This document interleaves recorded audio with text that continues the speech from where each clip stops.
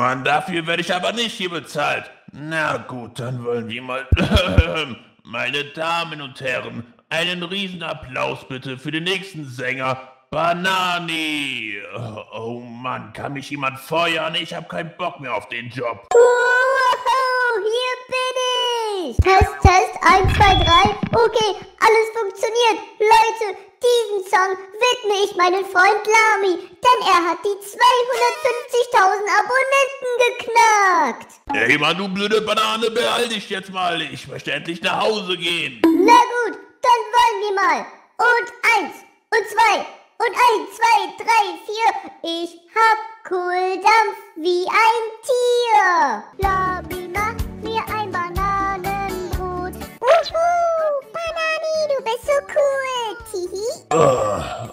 Gott, ist das peinlich. Und wer kommt da denn jetzt noch?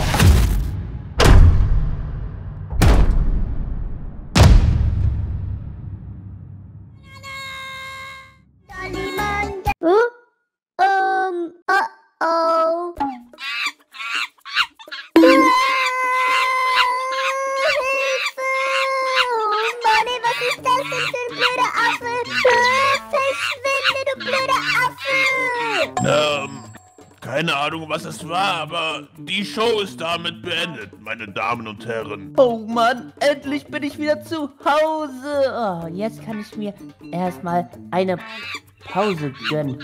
Hä, was ist das denn da? Herzlichen Glückwunsch zu den 250.000 Abonnenten, Lami! Mach ein Abonnenten Ähm, was zur Hölle war das gerade? War das ein Affe, der Banani hinterhergelaufen ist? Naja, wie auch immer. Abonnenten-Special, sagt er, für die 250.000 Abonnenten? Hm, lass mich mal überlegen.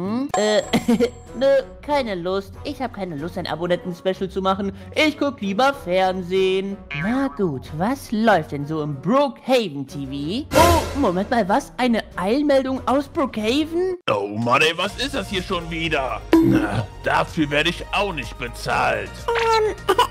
Wir sind schon live. Oh, äh, ja, sehr geehrte Damen und Herren, hier in der Stadt ist es gerade sehr, sehr laut und verrückt, denn wie man sieht, läuft eine verrückte Banane rum und hinter ihm ist ein Affe oder sowas. Ich habe absolut keinen Bock mehr auf diesen Job. Ah, ein Affe aus Ohio verfolgt mich. Lass mich in Ruhe. Ähm, ja, genug Fernseher für heute. Vielleicht wäre ein Abo-Special ja doch keine so schlechte Idee.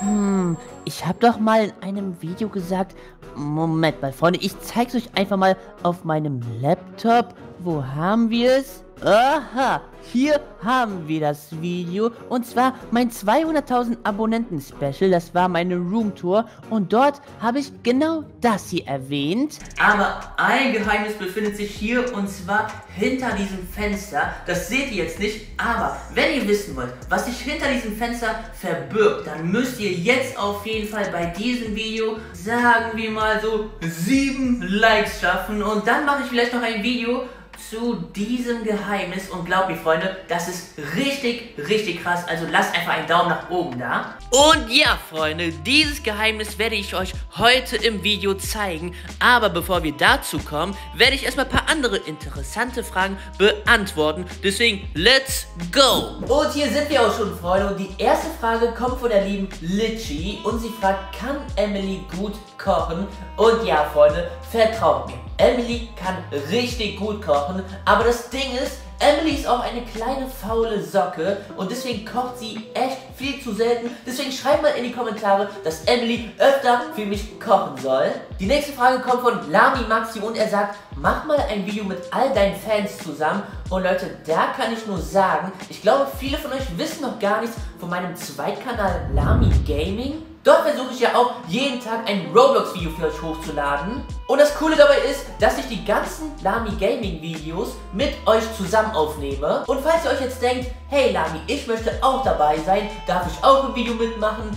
Ja, klar, ihr dürft alle mitmachen. Und zwar müsst ihr dafür einfach nur auf meinen Discord-Server kommen. Dort will ich euch dann einen Link in die Laberecke reinschicken. Und mit ein bisschen Glück kommt ihr dann auch ins Video. Also Freunde, zwei Sachen an euch. Und zwar erstens, abonniert den Lami Gaming Kanal. Und zweitens, kommt auf meinen Discord-Server. Die Links dazu sind auf jeden Fall in der Videobeschreibung verlinkt. Die nächste Frage kommt von dem lieben Ben Cool und er fragt, magst du Döner? Ich meine, was ist das für eine Frage? Ich liebe Döner. Und falls ihr wissen wollt, wie ich meinen Döner esse, Leute, in meinen Döner muss immer alles drin sein. Also auch Zwiebeln, Tomaten, Schaf, alle Soßen und ja.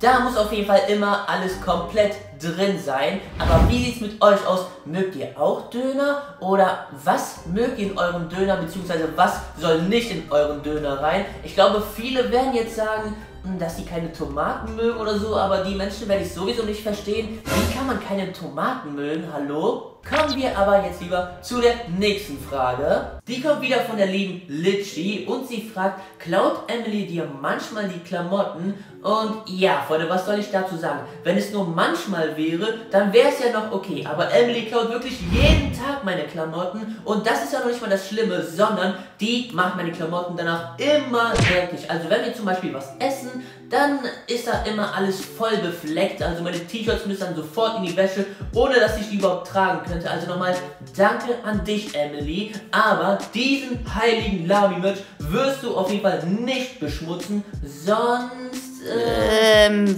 was dann? Äh, dann... Ja, du weißt schon, was dann ansteht. Äh. nächste Frage kommt von dem lieben Lamis Fuß. okay, cooler Name. Auf jeden Fall fragt er, was war deine schlechteste Note in der Schule und in welchem Fach? Oh Mann, Leute, ich bin kein gutes Vorbild, was das angeht. Aber in Mathe war ich immer richtig, richtig schlecht. Aber in anderen Fächern war ich okay oder gut. Aber bei Mathe, wie gesagt, keine Chance. Bei meiner letzten Abschlussprüfung damals in Mathe, wo dann nochmal alle Mathe-Themen vorkamen, habe ich auch nur meinen Namen draufgeschrieben und was ich dann dafür für eine Note bekommen habe, könnt ihr euch glaube ich denken. Aber Leute, ich hoffe mal, ihr passt alle fleißig in der Schule auf und werdet nicht so wie ich. Und ihr könnt ja mal gerne in die Kommentare schreiben, was ist eigentlich euer Lieblingsfach und was ist euer Hassfach. Die nächste Frage kommt schon wieder von der Litchi, okay? Die hat heute mal richtig coole Fragen geschrieben und sie fragt, bist du unpünktlich? Und ja, was soll ich dazu sagen, Freunde?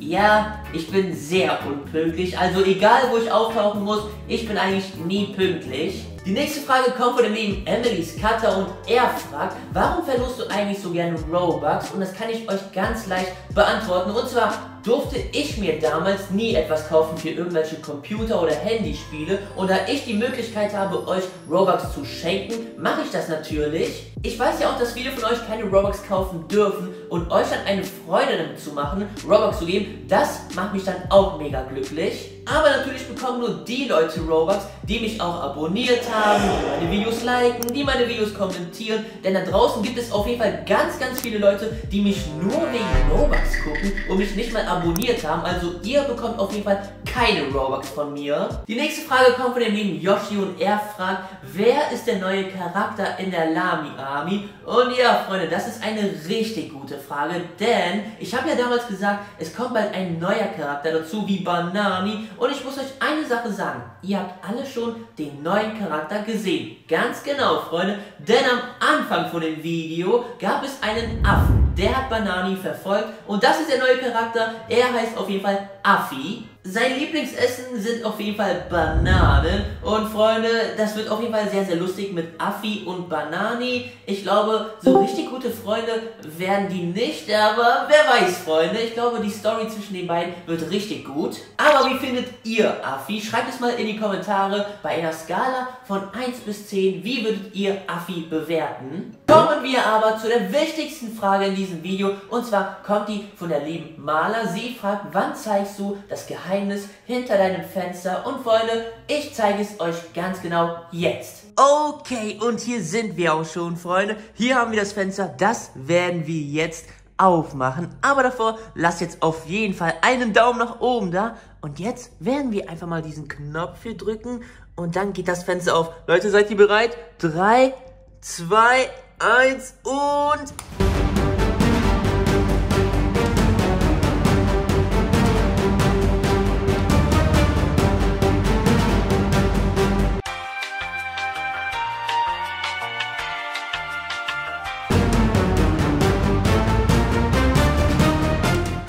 Und ja, Freunde, wahrscheinlich denkt ihr euch jetzt, okay, Lami, was geht jetzt ab? Ähm, ich denke mal, ihr wisst alle, dass es so auf jeden Fall nicht in Deutschland aussieht. Das ist auch nicht Österreich oder die Schweiz. Nein, das ist auf jeden Fall eine Insel, Freunde. Ganz genau, Emily und ich leben schon seit über einem Jahr auf dieser Insel. Vielleicht kennt von euch ein paar diese Insel und zwar ist es Madeira und die Insel liegt in Portugal. Und ja, hier wohnen Emily und ich seit über einem Jahr und das ist echt mega schön hier, oder Freunde? Was sagt ihr? Aber Freunde, habt ihr damit gerechnet, dass wir auf einer Insel leben? Ich glaube, ihr habt jetzt auf jeden Fall noch ein paar mehr Fragen am Start und ihr könnt die auf jeden Fall alle in die Kommentare schreiben. Und eine Sache will ich euch noch verraten, Freunde. Falls ihr mal einen Vlog von mir und Emily sehen wollt, wie wir euch diese Insel ein bisschen mehr zeigen, also unser Zuhause hier, dann wisst ihr, was zu tun ist. Abonniert auf jeden Fall den Kanal, denn bei 300.000 Abonnenten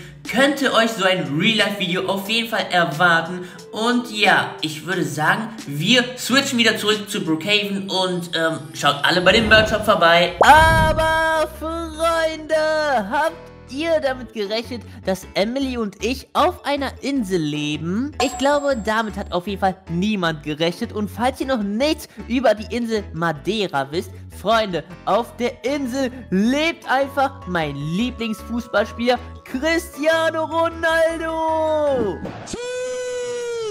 Ihr müsst euch also vorstellen, der hat auch auf dieser Insel sein eigenes Haus. Das heißt, Freunde, vielleicht treffen wir eines Tages den Lieblingsspieler von mir, Cristiano Ronaldo. Und was geht hier eigentlich für eine Party ab, ey? Und Leute, ich hoffe mal, dass euch dieses richtig coole Video gefallen hat.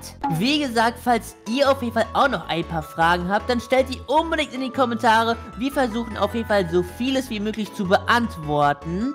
Und Leute, ihr wisst, was ihr zu tun habt. Und zwar abonniert den Lami Gaming Kanal, kommt in meinen Discord-Server und checkt unbedingt noch mein Merch ab. Alle Links dazu sind unten in der Videobeschreibung verlinkt. Und ja, Freunde, lasst auf jeden Fall für dieses Video einen Daumen nach oben da. Abonniert den Kanal und aktiviert die Glocke. Und dann würde ich sagen, sehen wir uns morgen wie immer bei einem neuen Video wieder. Und ciao!